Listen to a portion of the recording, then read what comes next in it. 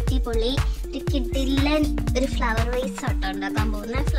Flower vase മാത്രമല്ല കേട്ടോ നമുക്കതൊരു എന്താ പറയുക ഒരു ബ്രഷ് ഹോൾഡർ നമ്മുടെ പെയിന്റ് ചെയ്യുന്ന നമ്മൾ ബ്രഷ് ഇല്ലേ? ബ്രഷ് ഹോൾഡർ അല്ലെങ്കിൽ പെൻ ഹോൾഡർ ഒക്കെ ആക്കാൻ പറ്റും. നല്ല രസം നല്ലൊരു ക്യൂട്ട് ലുക്കാണ് അതിന്. ഇതിന്റെ യൂസ് ചെയ്തേക്കണ മെറ്റീരിയൽസും എന്താ പറയുക നമുക്ക് അടുത്ത സ്റ്റോഴ്സിൽ തന്നെ അവൈലബിൾ ആയിട്ടുള്ള ചീപ്പ് ആയിട്ടുള്ള ഐറ്റംസ് കണ്ടോ? ഈ ഐസ്റ്റിക്കിനൊക്കെ ഒരു ബഞ്ചിന് തന്നെ തേർട്ടി ഒക്കെ ആവുള്ളൂ. ഈ ജ്യൂട്ടിന്റെ ത്രെഡിനൊക്കെ ആണെങ്കിലും വളരെ ഫോർട്ടി ഫോർട്ടി ഫൈവ് ഒക്കെ ഉള്ളൂ ഇത്ര. പിന്നെ ഇത് നമ്മുടെ പിസ്തയുടെ ഷെല്ലാണ് കേട്ടോ. ഇതും ഇതും ഐസ്റ്റിക്കും ആണ് മെയിൻ ആയിട്ട് യൂസ് ചെയ്തിട്ടുള്ളത്. ക്രാഫ്റ്റ് ചെയ്യണ എല്ലാവരുടെയും കയ്യിലുള്ള സംഭവം തന്നെ ഗ്ലൂ ഗൺ നമുക്ക് സംഭവം ഇങ്ങനെ നോക്കാം. ഇത് കാർഡ്ബോർഡിന്റെ ബോക്സിലെ കാർഡ്ബോർഡ് ബോക്സിൽ നിന്ന് ഞാൻ കാർഡ്ബോർഡ് ബോക്സിന് ഓപ്പൺ ചെയ്തെടുത്തേക്കണ. കാർഡ്ബോർഡ് പേപ്പറാണ് എന്താ ചപ്പൽ മേടിച്ചപ്പോൾ കിട്ടിയ ബോക്സാണ് അത്രേ ഉള്ളൂ. എടുത്തിരിക്കുന്ന ഒരു സിലിണ്ടറിക്കൽ ഷേപ്പിലുള്ള ഒരു ബേബി ലോഷന്റെ ബോട്ടിലാണ് എന്നിട്ട് ഞാൻ ആ കാർഡ്ബോർഡ് പേപ്പർ അതിനെ റാപ്പ് ചെയ്തു. റാപ്പ് ചെയ്ത് അതിനെ ജസ്റ്റ് റാപ്പ് ചെയ്യാൻ കിട്ടുന്ന അത്ര മാത്രം കട്ട് ചെയ്തെടുത്തു. മറ്റേത് മാറ്റി വെച്ചു. എന്നിട്ട് അതിനൊരു സിക്സ് സെന്റിമീറ്ററിന്റെ ഹൈറ്റിൽ അതും കട്ട് ചെയ്തെടുത്തു. അതിനുശേഷം ആ ബാക്കി ഉണ്ടായിരുന്ന കാർഡ്ബോർഡ് അതിന്റെ ബേസ് ഒരു സർക്കിളിൽ ആ ബോട്ടിലിന്റെ ബേസ് വെച്ച് കട്ട് ചെയ്തെടുത്ത് മാറ്റി വെച്ചു. എന്നിട്ട് അതിനുശേഷം നമ്മുടെ ബോട്ടിലിന് ജസ്റ്റ് ഒരു റഫ് പേപ്പർ വെച്ച് റാപ്പ് ചെയ്ത് ഗ്ലൂ ചെയ്തിട്ടോ. നമ്മൾ മാറ്റി വെച്ച്.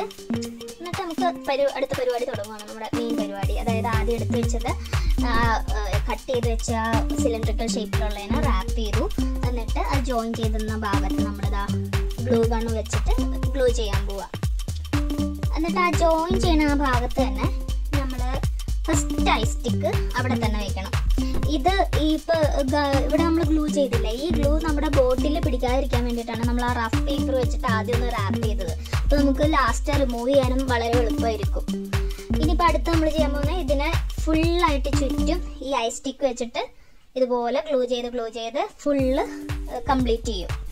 ഇത് സത്യം പറഞ്ഞാൽ വളരെ ഈസിയാണ് പക്ഷെ നമുക്ക് അത്യാവശ്യം ക്ഷമ വേണം. ക്ഷമയോടെ ചെയ്ത് കഴിഞ്ഞ് കഴിഞ്ഞാൽ ലാസ്റ്റ് നമുക്ക് ഭയങ്കര ഒരു സാറ്റിസ്ഫാക്ഷൻ ആയിരിക്കും കിട്ടുന്നത്. പിന്നെ നിങ്ങൾ ഈ ക്രാഫ്റ്റ് ചെയ്യുന്ന ഒരു ഗ്ലൂ ഗൺ വാങ്ങിച്ചിട്ടില്ലെങ്കിൽ എന്തായാലും വാങ്ങിക്കണം കേട്ടോ നമ്മൾ വിചാരിക്കുന്ന പോലെ അത്ര ഭയങ്കര കോസ്റ്റ്ലി ഒന്നും അല്ല സംഭവം ഒരു വൺ ഫിഫ്റ്റി റേഞ്ചിൽ തൊട്ട് നമുക്ക് കിട്ടും.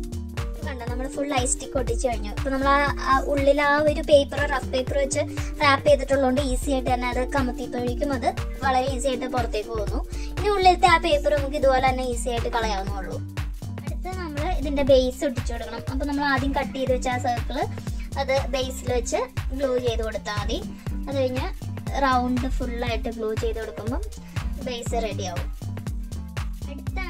നമ്മുടെ അടുത്ത സംഭവം സ്റ്റാർ പിസ്താഷിലിന്റെ എൻട്രി അപ്പൊ അത് ആ ബേസിന്റെ അവിടെ തന്നെ ഇതുപോലെ ഓരോന്ന് ഓരോന്നായിട്ട് റൗണ്ടിൽ ഫുള്ള് ഒട്ടിച്ചുകൊടുക്കണം അപ്പൊ ഏകദേശം ഓരോ സ്റ്റിക്കിനും ഓരോ ഷെല്ല് വരുന്ന വിധത്തിലായിരിക്കും അത് നമ്മൾ ഒട്ടിച്ചുകൊടുക്കണത് പിന്നെ ശ്രദ്ധിക്കേണ്ടത് മാക്സിമം പെയർ ആയിട്ട് ഒട്ടിക്കാൻ ശ്രമിക്കും അതായത് ഒരു പിസ്തയുടെ തന്നെ രണ്ടെണ്ണം. അതായത് നമുക്ക് ഒട്ടിക്കാൻ തുടങ്ങുമ്പോൾ മനസ്സിലാവും. ഒരു സ്ലാൻഡിങ് ഉണ്ട്. അപ്പൊ ലെഫ്റ്റ് റൈറ്റും ഒരു പെയർ ആയിട്ട് വരണം. അടുത്ത് നമ്മുടെ ജ്യൂട്ടിന്റെ നൂലാണ്.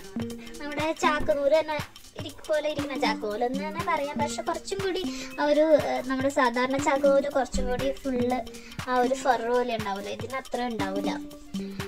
ഇത് ജസ്റ്റ് ഇതുപോലെ ആദ്യം ഗ്ലൂ ചെയ്ത് പിന്നെ ഇതുപോലെ ഒട്ടിച്ചു കൊടുക്കുക. ഒരു ഏകദേശം ഒരു വൺ സെന്റിമീറ്ററിന്റെ തിക്നെസ്സിലാണ് ഞാൻ ഒട്ടിച്ചു കൊടുത്തിട്ടുള്ളത്. അതുപോലെ രണ്ട് സൈഡിലും ചെയ്ത് കൊടുക്കുക. അതായത് ബേസ് പാർട്ടിൽ വരുന്നതിൽ കൊടുക്കുക അതുപോലെ ടോപ്പിലും കൊടുക്കുക. നമുക്ക് വളരെ സിമ്പിൾ ആയിട്ടുള്ളൊരു സ്റ്റെപ്പാണ് പക്ഷെ എന്നാൽ നമുക്കത് ചെയ്ത് കഴിയുമ്പോൾ ഭയങ്കര ഒരു എത്തനിക്ക് അല്ലെങ്കിൽ ഒരു ഫിനിഷിംഗ് ലുക്ക് തോന്നും. അടുത്തായിട്ട് നമ്മുടെ ഫൈനൽ സ്റ്റെപ്പ് അതായത് നമ്മൾ പിസ്തയുടെ തന്നെ ഷെല്ല് വെച്ചിട്ട് ഒരു ഫ്ലവർ പോലെ മൂന്ന് പെറ്റൽസ് ഉള്ള ഒരു ഫ്ലവർ പോലെ ക്രിയേറ്റ് ചെയ്തേക്കുക. അത് മൂന്ന് സൈഡിൽ ഞാൻ ചെയ്തിട്ടുണ്ട്. അപ്പം മൂന്ന് ഫ്ലവേഴ്സ് വരും. അപ്പം അതോടുകൂടി നമ്മുടെ സംഭവം റെഡി ആയിട്ടുണ്ട്.